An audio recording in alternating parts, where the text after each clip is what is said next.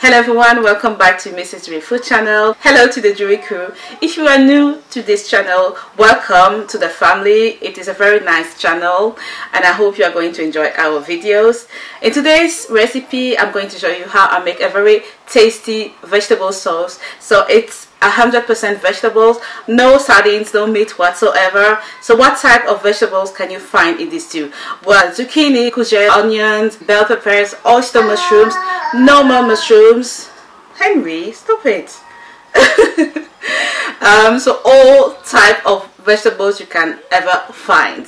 So if you are vegetarian, this stew is very good for you. And also there is a hint of uh, crayfish powder just to enhance the flavor. But if you don't like it please don't use it. But if you do well it is a plus. What can you eat with this stew? Well I've got here um, yam. And I've also got uh, plantain which is my favorite by the way. You can also have it with uh, rice spaghetti potatoes basically anything you like it is just a very nice stew that you really must try. Thank you for watching this with me. Um, i'll see you next time. Don't forget to like my videos. Watch it in hd because it gives you amazing video quality. I'll see you next time. Bye bye, bye. now I, ha I have to run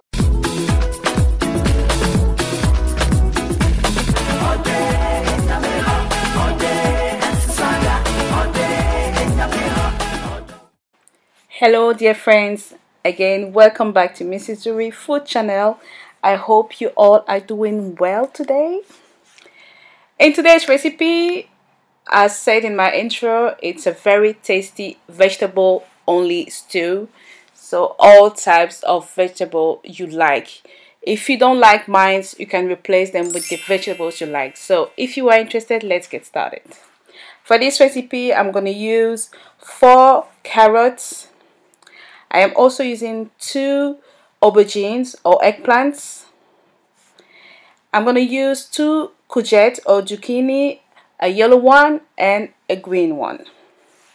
I have also got some green onions or spring onions. I'm going to use half a white cabbage. I also have here mushrooms and these are called oyster mushrooms because it looks like oysters.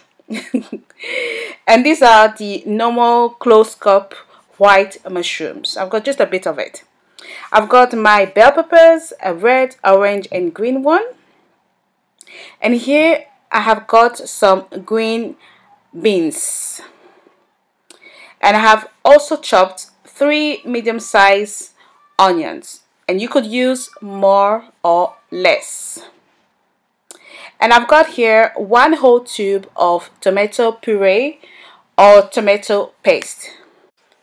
And for my tomato sauce, I've got here four scotch bonnet peppers and the vegetable you see here is actually fresh garlic. This is very, very fresh garlic that you can't even see the cloves.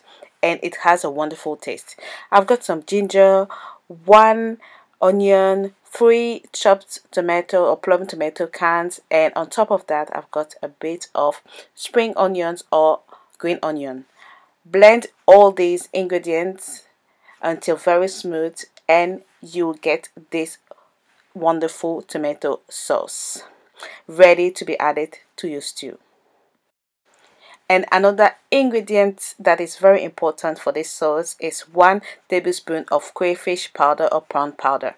For the other spices, I've got here 1 tablespoon of prawn flavor stock, 1 tablespoon of thyme, 1 tablespoon of hot curry powder, 1 tablespoon of smoked paprika, and 1 tablespoon of salt. You can always add more or less. And of course I'm to use some oil and this time I'm using sunflower oil. So let's get started. So this time I'm gonna start off with my cabbage. So I'm just gonna chop it very roughly because I'm going to boil it. You could also add it directly to the stew but it makes things a lot easier sometimes. So I'm just adding just a little bit of salt but if you don't want to add salt at this point you don't add it. And then cover it and let it cook for about 15-20 minutes. So in the meantime I'm gonna add some sunflower oil to my pan and then add my chopped onion when the oil is hot enough. And then I'll leave it to cook for about 3 minutes.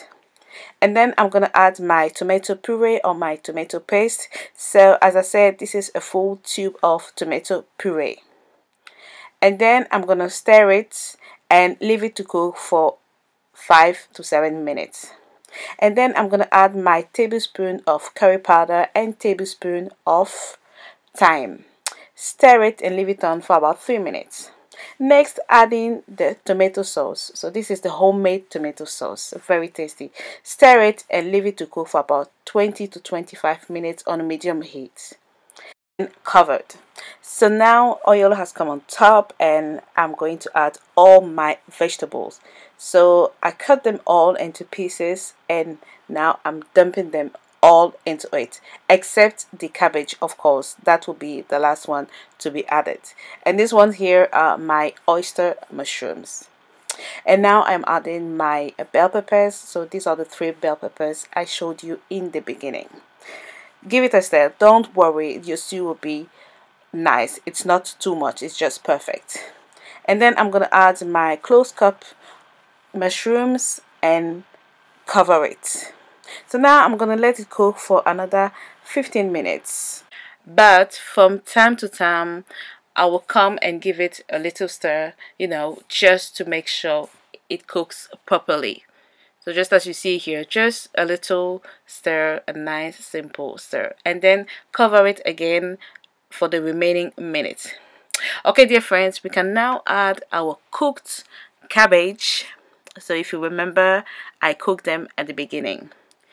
Give it a stir and then add in the spices. These are all the spices I showed to you okay if you want to add any other spices please go ahead and do it. But this is what I use for this recipe and it works very well. Give it a stir and then add in one tablespoon of crayfish or prawn powder. So the ground one okay? It's different from the stock one. Stir it and then add in the spring onions or green onions depending on how you call it. Let it cook for another 10 minutes on a lower heat and voila, your vegetable sauce is ready. This is a slow motion for you. okay guys, so recap, you can eat it with anything you like, whatever you like. Even if you get abolo, you can eat it with. By the way, I'm gonna post a recipe for that. So I had a mine with uh, yam and plantain and I enjoyed it guys. This recipe is amazing. You won't miss eating meat. And you know what? When you look at this stew, you think, oh, this can't be vegetables only it looks like there is some meat or some tuna fish inside no guys this is pure vegetable sauce and you are going to enjoy trust me on that one thank you all for taking the time to watch my video. I really appreciate it. Thank you for being subscribed to me for leaving me comments for liking my video. Thank you also for those who don't like my videos. I'll see you next time. You all take care. Bye bye